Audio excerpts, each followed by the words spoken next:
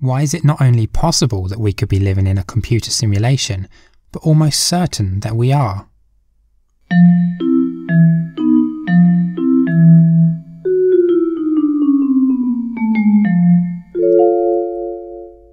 The philosopher Nick Bostrom argues that if our technology continues to advance, then it is likely that at some point in the future we will be able to create computer simulations which perfectly replicate the world, populated by simulations of brains which have all the cognitive functions and conscious awareness of a real person.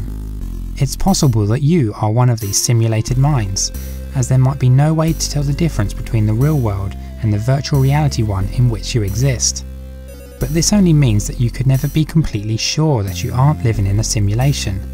Bostrom's argument differs, in that it argues that at least one of the following is true. Almost all civilizations at our level of development become extinct before becoming technologically mature. The fraction of technologically mature civilizations that are interested in creating simulations is almost zero. You are almost certainly living in a computer simulation. So, either all civilizations become extinct before creating the technology to build simulations, or they have no interest in building them, or you are most certainly living in one right now. This is because when the technology has advanced enough, we could create and run millions of these virtual worlds. This would mean that there would be billions more simulated minds than real ones, making it mathematically much more probable that you are one of the simulated minds.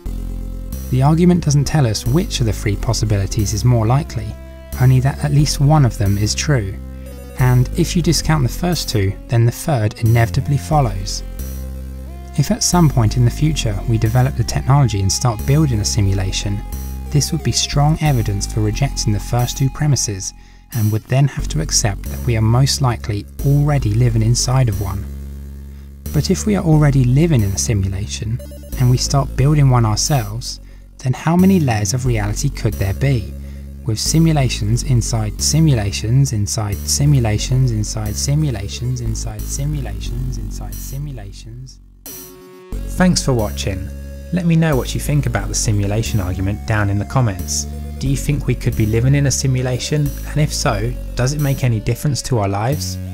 If you enjoyed this video, then please subscribe by clicking here, and you can check out my previous video on the science of habits by clicking here. See you next time.